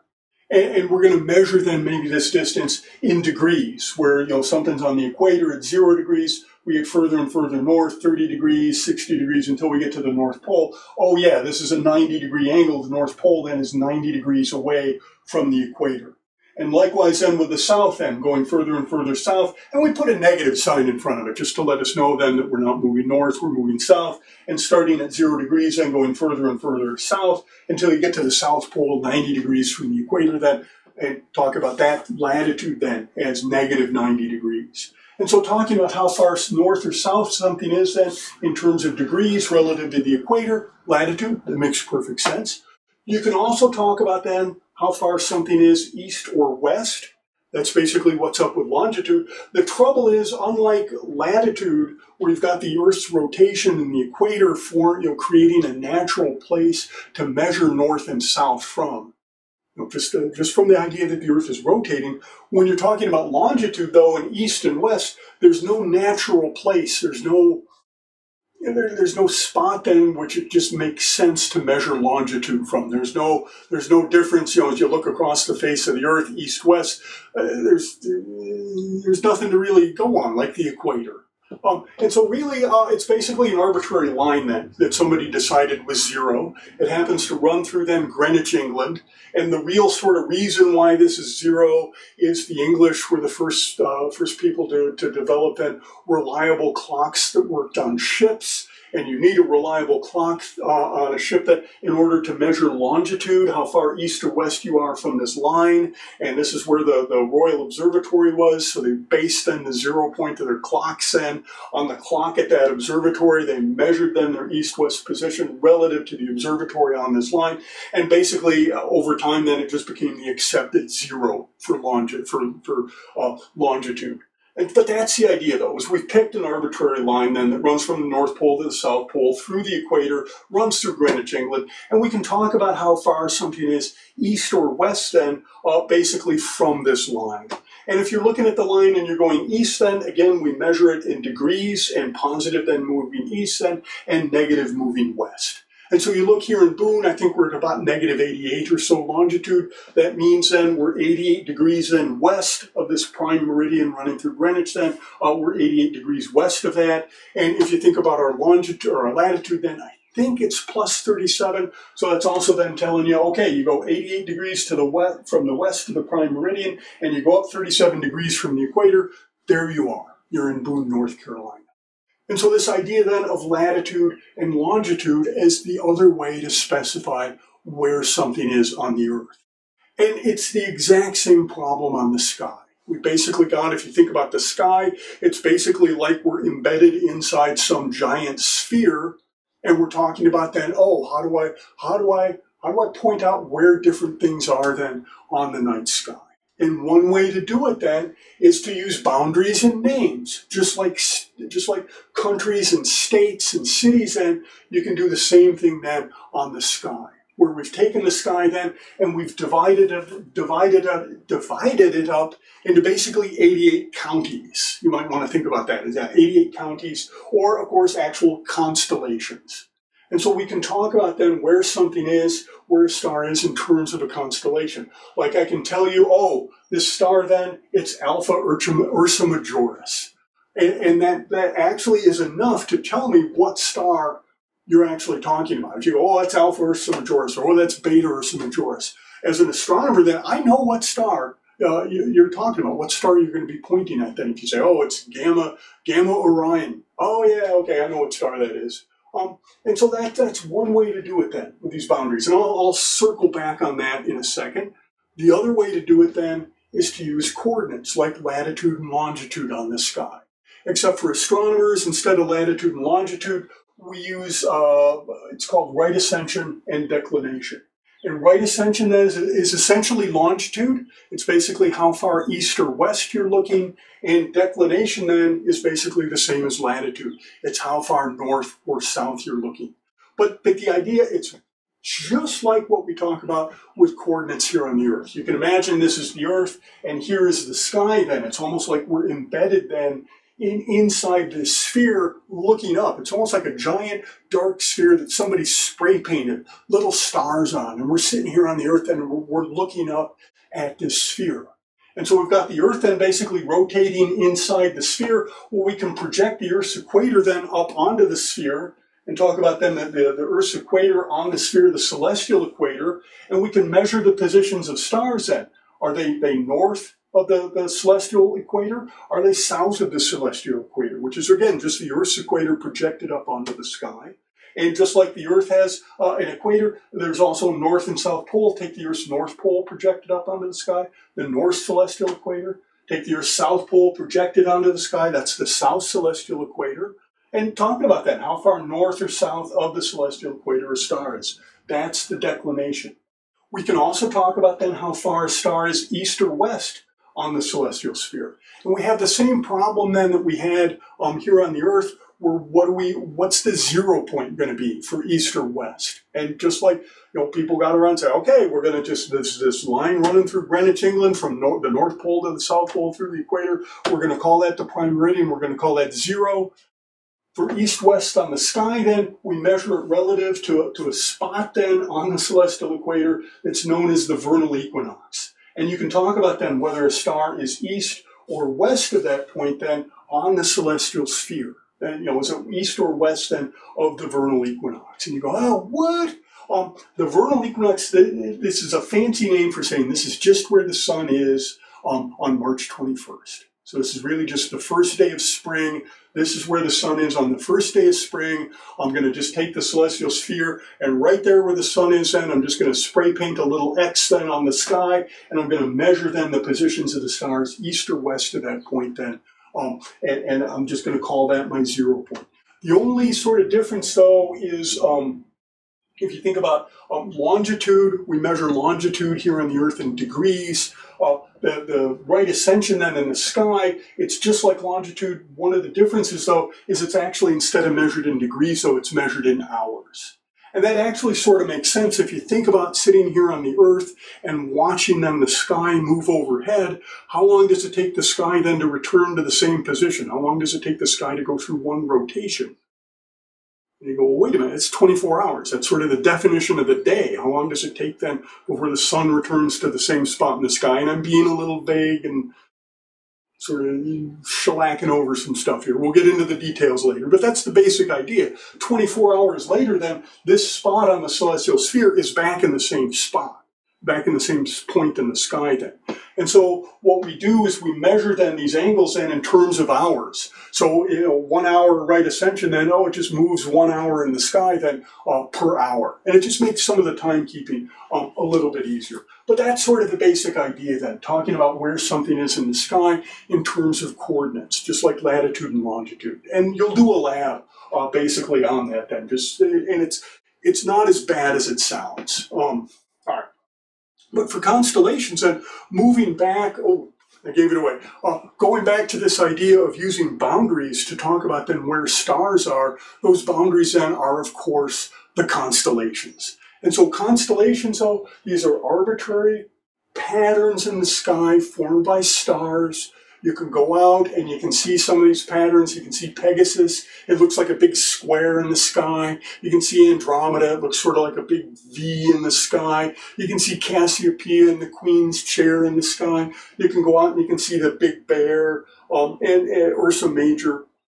And these are really just patterns of stars that people have just basically associated uh, with typically with some object. This gets, uh, I don't want to say it, um, this gets, there's a lot to talk about here. This, this can get uh, sort of complicated, but um, a couple of highlights then, a couple of things to talk about then. Stars within constellations are rarely related to each other. If you go out then and you look at Ursa Major, or you go out and you look at Perseus, the stars in Perseus, even though they're in the same constellation, are not really related to each other. Again, you're looking at the sky and you're seeing, when you look at the sky, then it's really hard to see um, sort of distance, depth with the sky. And, and to be honest, you can't at all. And when you see this pattern of stars in the sky, yeah, they can look next to it, like almost right next to each other in the sky, but oh, wait a minute, they have nothing to do with each other. They're, they're hundreds of light years apart. They just appear next to each other in our sky as we're looking at them. And so don't think that stars within constellations are related to each other and also then the patterns that we see, um, or the, the constellations that are out there, that the, the constellations we use then basically come from antiquity and the Greeks, and they, they sort of talk then about 48 constellations then uh, before, basically developed before the year 500 AD. They talked about these 48 different constellations. But, you know, the Greeks didn't know much about the southern hemisphere.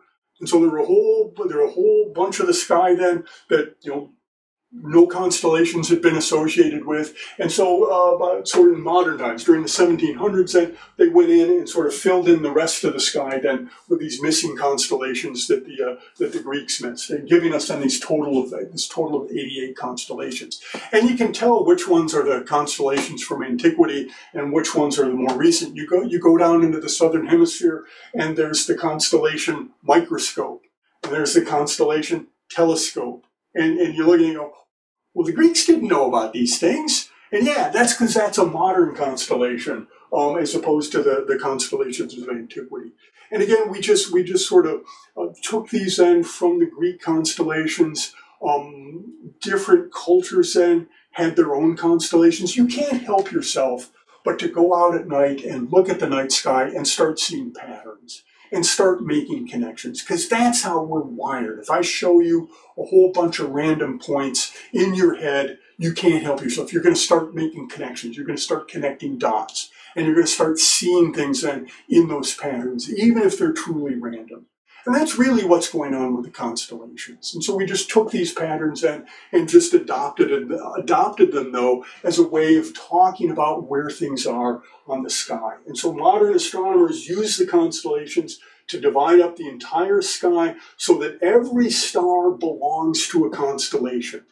And, and you go, well, wait a minute then, you know, how many, how many visible stars do you think there are? If you could see the entire sky uh, all 360 degrees, the whole full sky, how many individual stars do you think that you can see, that you can resolve, that you can identify? And it turns out the number is about 6,000. And that's, that's, well, gosh, that's not a lot of stars, considering we live in a galaxy with 100 billion stars. There are many, many, many, many, many, many more stars that are out there than, that are too faint to see. And we need some way of talking about where they are. And this idea then of using the constellations using these boundaries then to establish where these stars are. So I can say, oh, the stars in Orion, oh, the stars in Perseus. I'll have a general idea of where to look. Just like saying, oh, this address is in Boone. I got a pretty good idea where to look. This address then is in Columbus. I got a pretty good idea where to look. And you wait, Columbus, Georgia or Columbus, Ohio? Ah. Um, so, so yeah.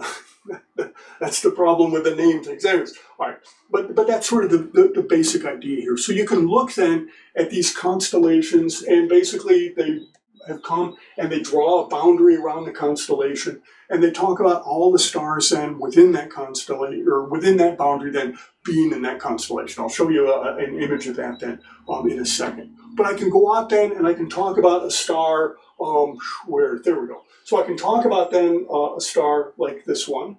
And you'll notice then this is the constellation in Ursa Majoris. There's sort of the, the artist's sort of representation of you know, the constellation as the Big Bear.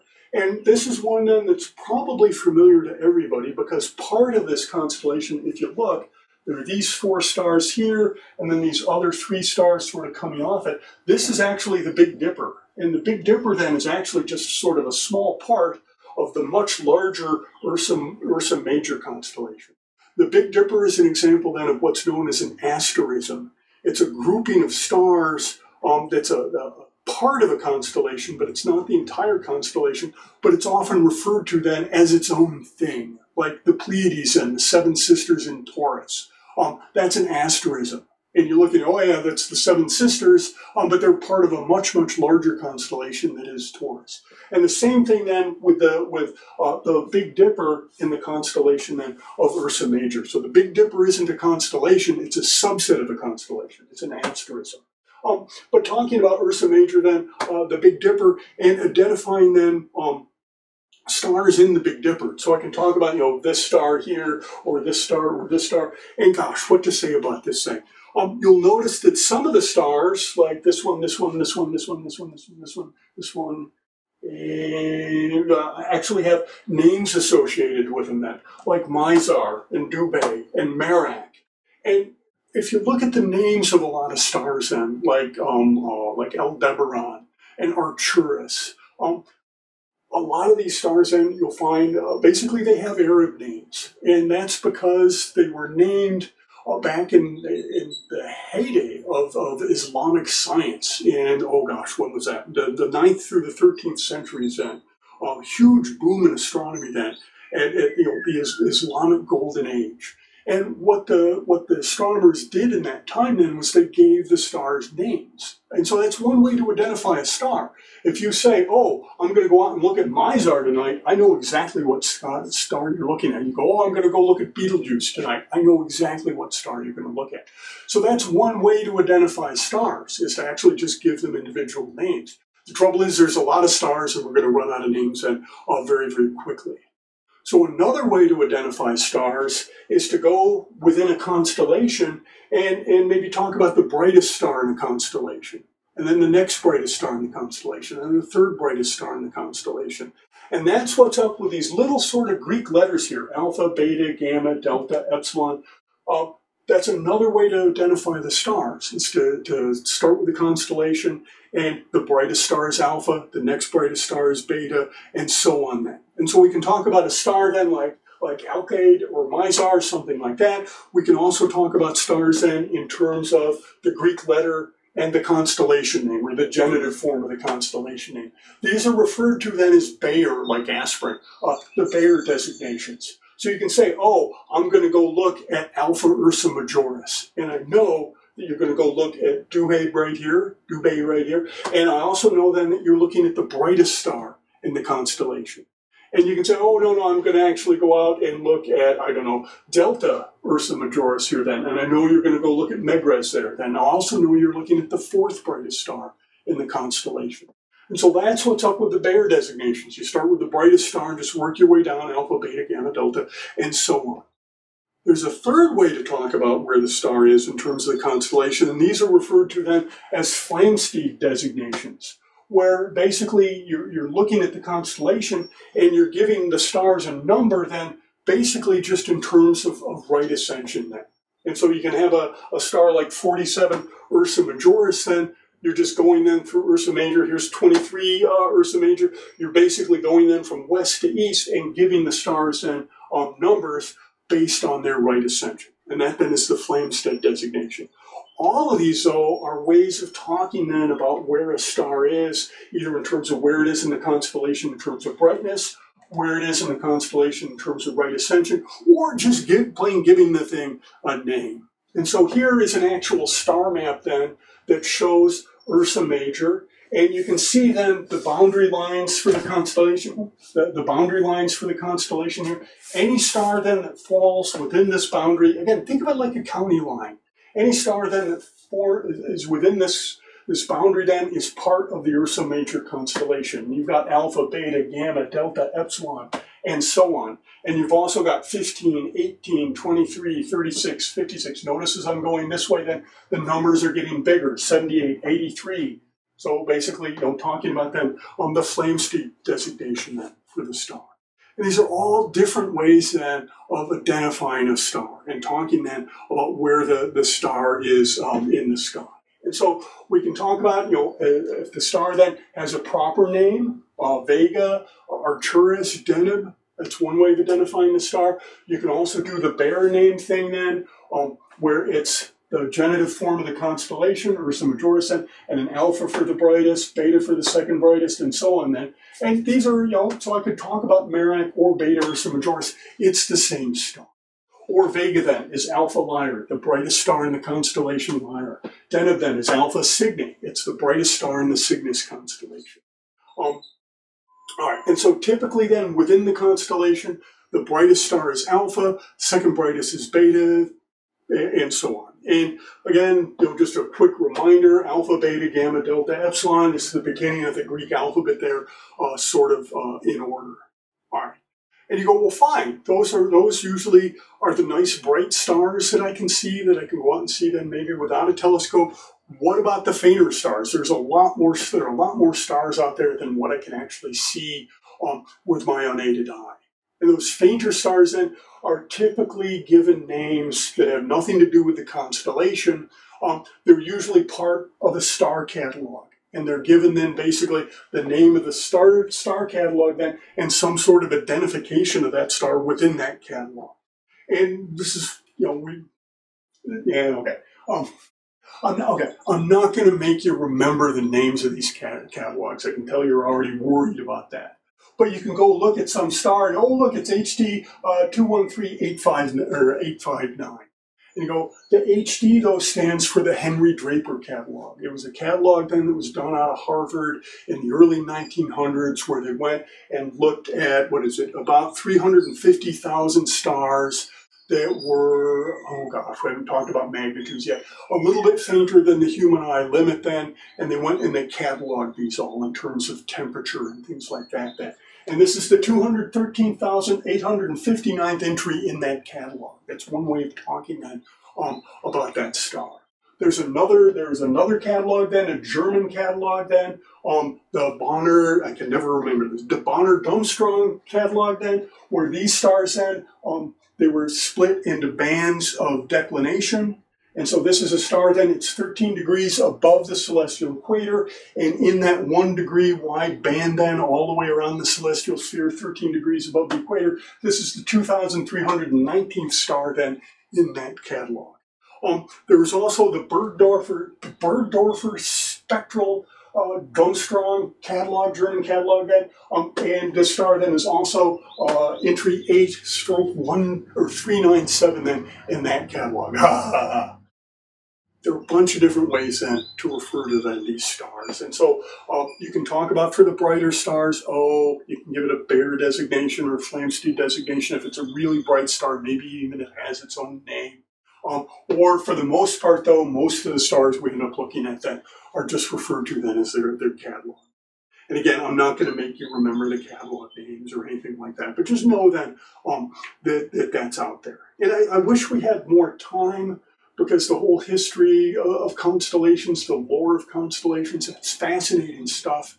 If you're interested in history, there's lots of books out there that you can go and find and read then about the histories of constellations. And I guess the thing to remember though is really every culture has its own set of constellations.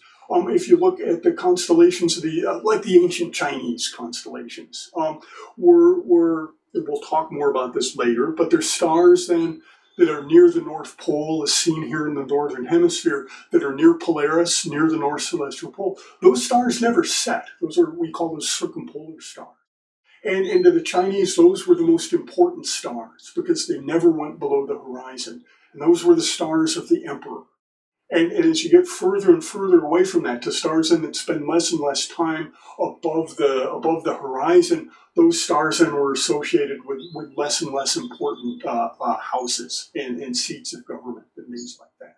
Um, the, the, the, Native Americans had their own constellations, some of which are, are just amazing. And you've got that, like the, the spider constellation with its web, and the, the three hunters then chasing the bear, and uh, the sort of the rabbit and the canoe race. You had all of these constellations in. And so, yes, we, we appropriated then the, the constellations of the ancient Greeks, basically because we're, we're, going to talk about this going back to Hipparchus and the making of the first star catalogs and all of that sort of traces back to them.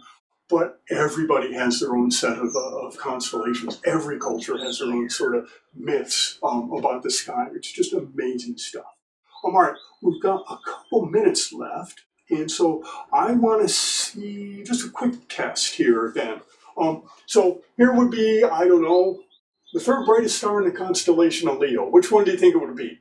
Alpha Leonis, Beta Leonis, Gamma Leonis, or Epsilon Leonis. And remember, we used the genitive name of the constellations and, and the Bayer designations, but I'm not going to remember, I'm not going to ask you, oh, what's the genitive name of the constellation Leo, and have you remember Leonis.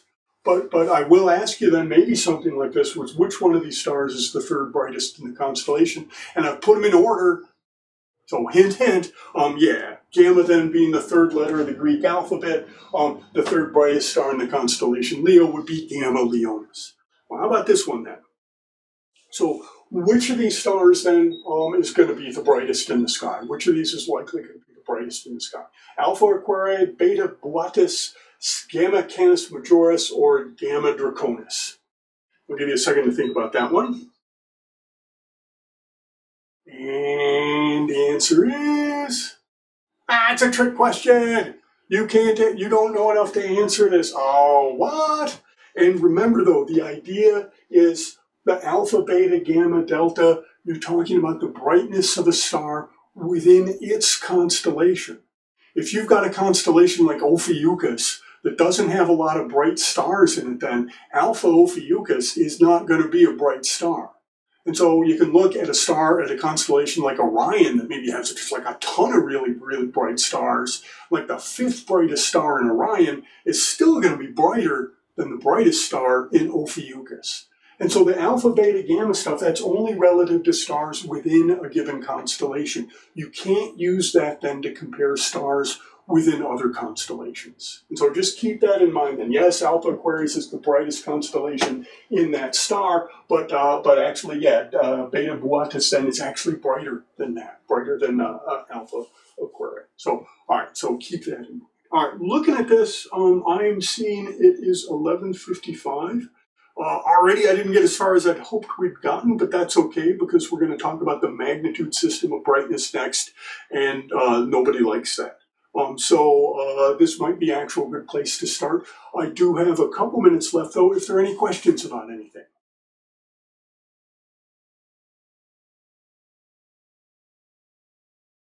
Oh dear, I've either explained everything perfectly well or I've put everybody to sleep. Yes. Okay. Oh, okay.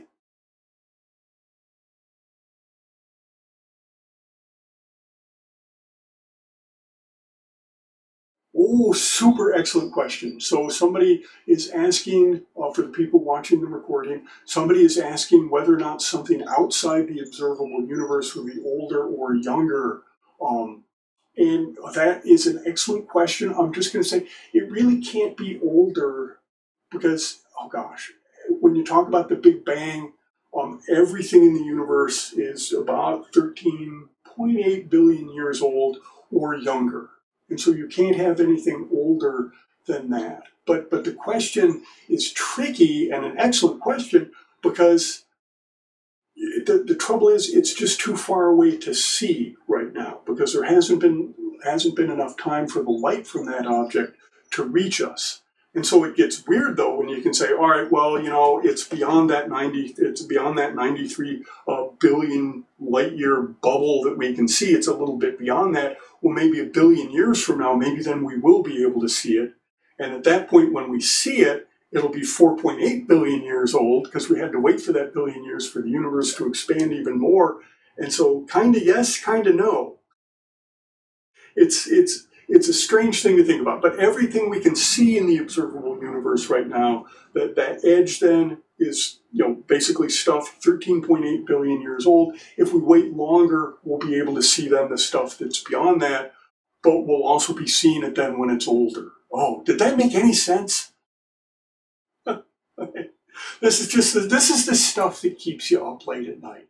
Um, but excellent question. Other questions?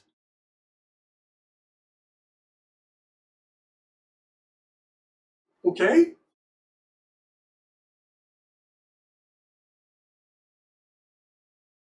Mm-hmm. No, that's fine.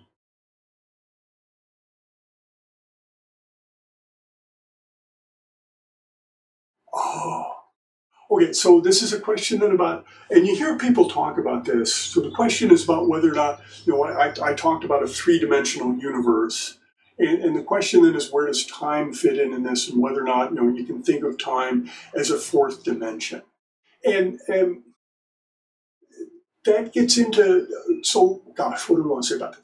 The whole idea behind dimensions is, is really from a, from a mathematics and a physics sort of sense is what do I need to describe where something is? And so if I think about the surface of the earth, that's really just two dimensional because I can talk about where something is north, south, east, west. I need two dimensions to describe where it is. Or if I'm thinking about in terms of three dimensional space, I might need to know where something is east, west, north, south, and then how high up above the ground it is. Or maybe I could talk about this room and where something is in the room. And I could measure from this corner and I could say, well, it's four feet in that direction, three feet in that direction, and two feet up. And to describe where it is in three, three dimensional space, I need three uh, basically coordinates then to specify where it is. Or just think about a one-dimensional system where I've got basically a string and I want to talk about where a knot on the string is. And I go, oh, that, that, that knot then is two feet from the start. And I only need to specify that two, two feet because it's a one-dimensional system. And that, that relationship then between you know, dimension and how many numbers, how many coordinates do I need to describe where something is. And that's why people talk about time then as a fourth dimension. Because I can talk about something right here in this room, this far from the corner, that far from the wall, and then that high up.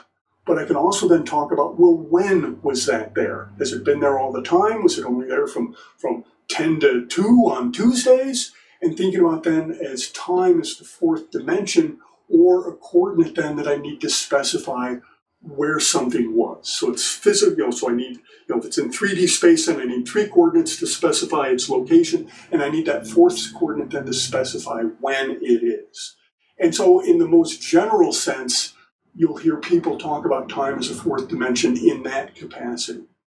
It gets weirder though if you get into the relativity thing and this relationship then between time and space and how they're they're sort of sort of tangled together. But time really isn't actually sort of a fourth spatial dimension. Does that sort of make sense? It's sort of really just specifying when something is, but in order to give you the location of something, I may need to specify time. So it is a fourth dimension. Oh, is it good? Other questions?